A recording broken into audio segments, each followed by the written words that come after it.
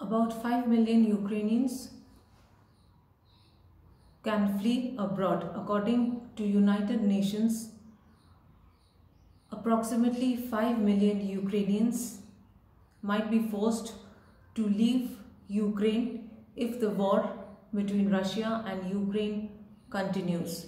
United Nations has said that Ukrainians are already fleeing the country and many have found shelter in Poland, Moldova, Romania and other nearby countries. And if this goes on, approximately 5 million Ukrainians will have to leave Ukraine and settle abroad. UN said that they are trying their best to supply Ukraine with free medicines so that at this hour of crisis the Ukrainians can get food and medicines and for the time being they can take shelter.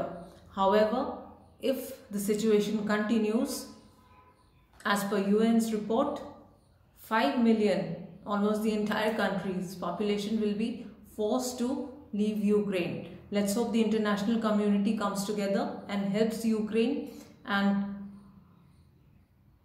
uh, Russian President Vladimir Putin stops this attack so that no more people die. Already 200 people have died. Stay updated with me for more news and updates. Thank you.